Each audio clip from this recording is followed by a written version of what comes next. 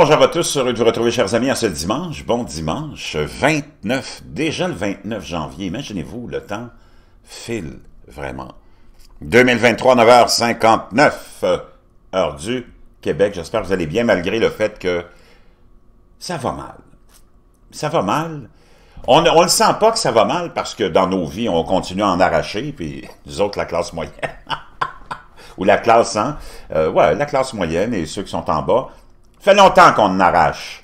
Ça fait longtemps qu'on se fait piller notre argent. Ça fait longtemps qu'on se fait mener par le bout du nez. C'est pas nouveau. Ça fait longtemps, longtemps qu'on se fout de notre gueule. Puis qu'on se fait promener d'un bord puis de l'autre. Puis qu'on se fait comme un troupeau de moutons. C'est exactement ça. C'est pour ça que je sais pas qui est à l'origine de cette image, mais on est vraiment comme un troupeau de moutons. Le berger s'en va dans une direction, puis on le suit. Puis on le sait qu'on a besoin de se faire tondre. Puis on va être content de se faire tondre. On va se sentir mieux.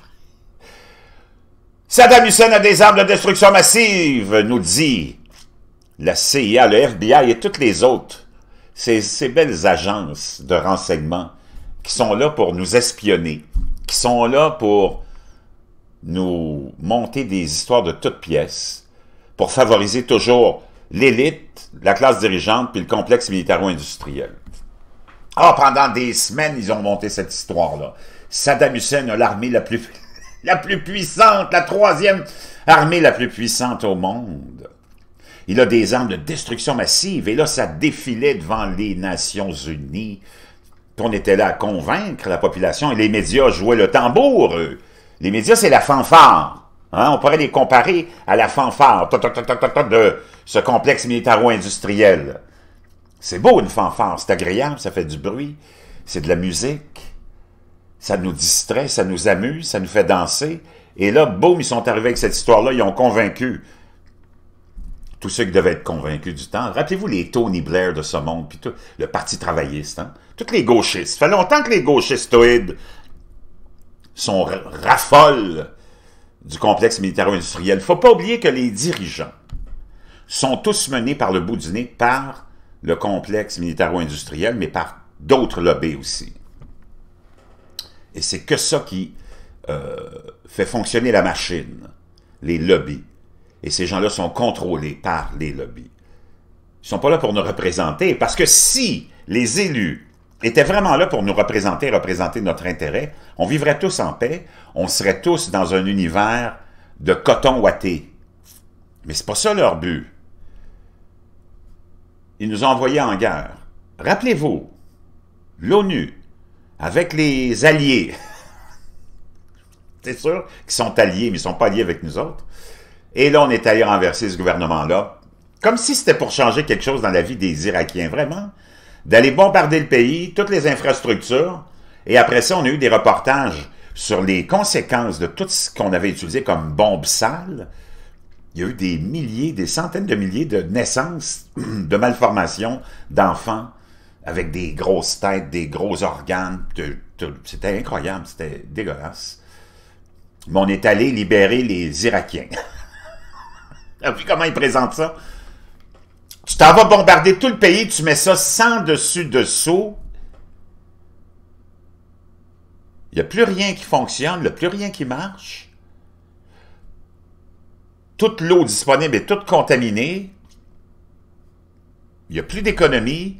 Le pays est en état de guerre civile, il n'y a plus de structure, mais on est allé libérer, selon nos dirigeants, selon l'ONU, selon les médias et les experts, on est allé libérer les Irakiens. Vraiment? Comme on est allé libérer les Afghans, et surtout les Afghanes. Hein? On est allé là, encore là, monter de toutes pièces. Il faut aller absolument libérer les, pauvres Afghans, mais c'est vrai aussi, mais surtout les pauvres Afghanes qui sont euh, soumis à une tyrannie de la part des talibans. Ce qui était tout à fait vrai. Mais on n'a rien changé là-bas. On est allé mettre le pays sans dessus-dessous. On est allé exaspérer tous les conflits et les tensions déjà qu'il y avait en différents, euh, différentes, différentes nations, différentes tribus. hein, des clans, c'est très complexe l'Afghanistan. Et pendant 20 ans, on a mené une guerre contre un ennemi invisible, puis soudainement, on a tout abandonné. Ils sont tous sauvés sous l'ordre de Joe Biden et les alliés, mais les alliés ont été surpris un peu. Ils ont laissé... Pendant 20 ans, ils ont convaincu que c'est ça qu'il fallait faire pour libérer surtout les Afghans. Ils remettent les clés du pays entre les mains des mêmes supposés ennemis de l'époque. Non seulement ils leur remettent les clés, mais tout l'équipement militaire, puis toutes les infrastructures qui ont été construites depuis 20 ans avec l'argent des Américains puis des Alliés. Essaye d'expliquer ça à un enfant, puis il va dire, mais vous êtes vraiment stupide. Un enfant te répondrait comme ça. Donc, c'est ce même monde-là qui est en train de nous amener maintenant, probablement, dans ce qui pourrait être, plus vite qu'on le pense, un troisième conflit mondial, une troisième guerre mondiale, qui est déjà commencée par procuration, on le voit, via le pays d'Europe dont il est question, l'OTAN et les alliés d'Europe et les Américains sont en train de mener une guerre contre la Russie. L'idéologie russe, qui n'est pas mieux non plus.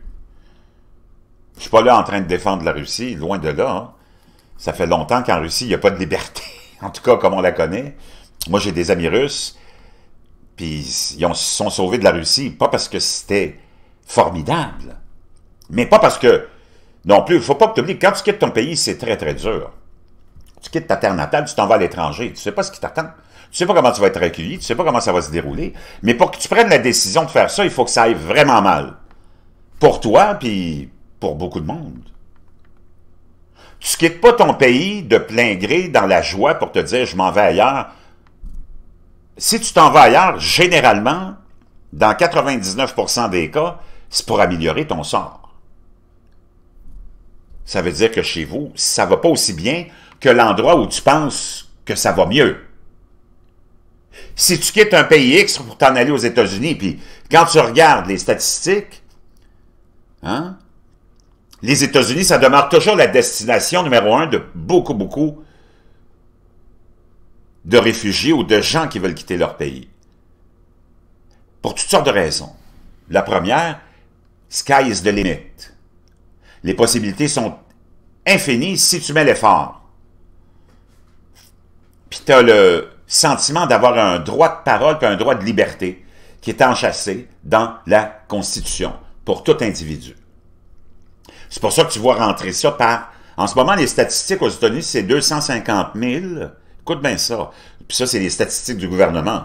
Quand même que tu voudrais pas les croire. Puis c'est Joe Biden qui est au pouvoir, là. Ça n'a rien à voir avec la politique. C'est, dans les derniers mois, 250 000 illégaux qu'on a réussi à compter qui passent par mois. 250 000. Ça, c'est sans compter tous ceux qui sont passés. Tu pourrais peut-être mettre le même montant qu'on n'a pas pu détecter. C'est bien correct. Moi, je j'ai aucun problème avec ça. Juste pour te dire que tu peux pas me démoniser les États-Unis et me dire que c'est un pays de merde quand tu as autant de gens qui veulent aller là. J'ai pas vu beaucoup de monde devant les ambassades afghanes, irakiennes, pour demander l'asile politique, pour aller vivre en Irak ou en Afghan, nonobstant que c'est des gens que j'aime beaucoup, j'ai beaucoup d'amis afghans et irakiens, mais la réalité, c'est ça, que ce que je te dise. Il y a un temps, on voulait aller en Europe. Pas parce qu'on veut aller en Europe, parce que c'était une porte, une porte d'entrée de sortir de ta misère pour après ça, peut-être aller à une meilleure place, les États-Unis, parce que l'Europe, c'est pas facile, ils vivent, le coût de la vie est extrêmement cher. Le contrôle est plus présent qu'aux États-Unis. L'endoctrinement est encore plus puissant de l'élite, de cette commission européenne de gens non élus qui veulent façonner un individu à leur façon, un nouveau citoyen européen qui, dans le fond, va être un conformiste, qui va baisser la tête, puis qui questionnera jamais les cravatologues, les bureaucrates. Que t'aimes ça ou non, c'est pas vraiment important. Ça, c'est la réalité. Parce que le problème avec les gens d'aujourd'hui, c'est que tu peux plus leur dire la vérité parce que ça les offense.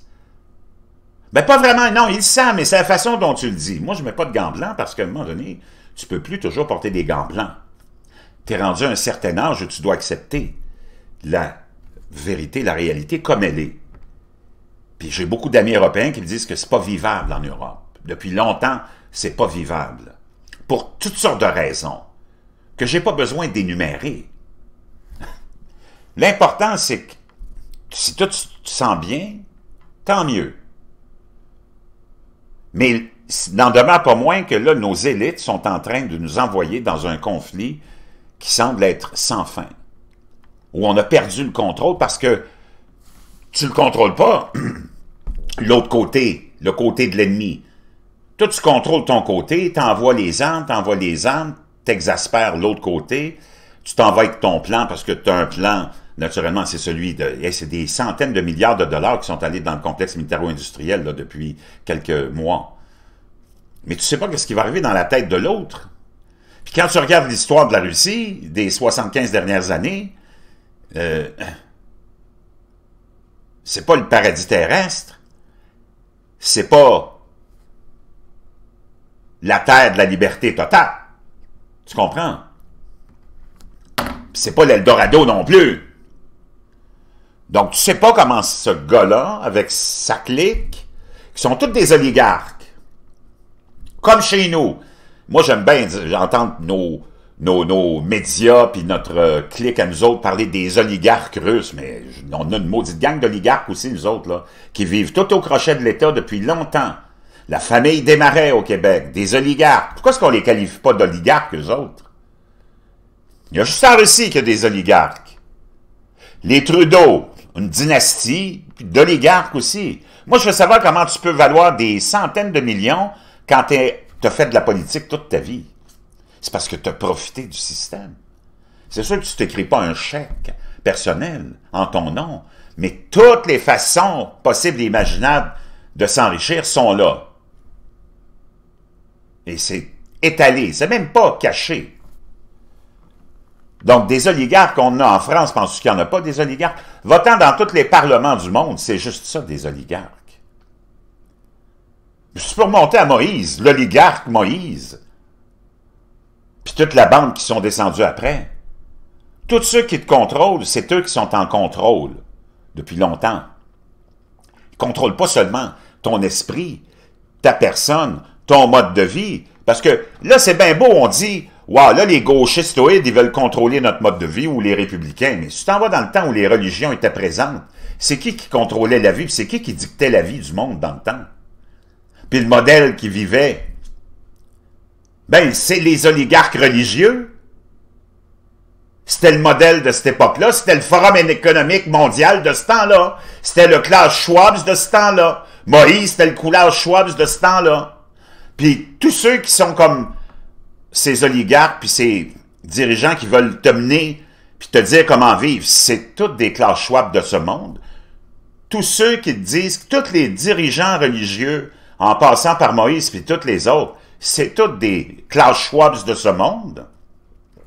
Puis la vie de cette société-là, à cette époque-là, vivait selon les règles de ce Klaus Schwabs-là.